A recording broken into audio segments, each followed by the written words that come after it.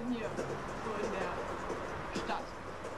Ich find's toll, aber ich dachte, es wäre allgemein. Was tippst du denn da? und- Ein Drehbuch. Und um was geht es? Um alle meine abenteuerlichen und bewegenden Erlebnisse. Was für ein Erlebnis denn?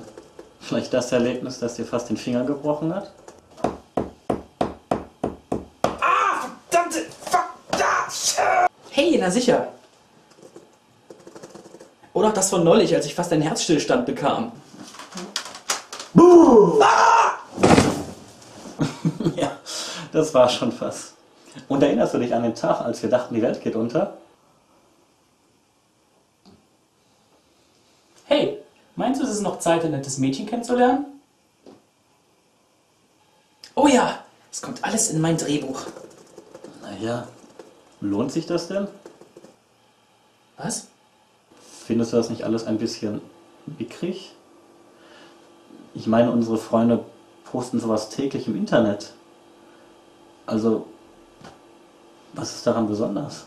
Ich meine, ist heutzutage überhaupt noch etwas weltbewegend?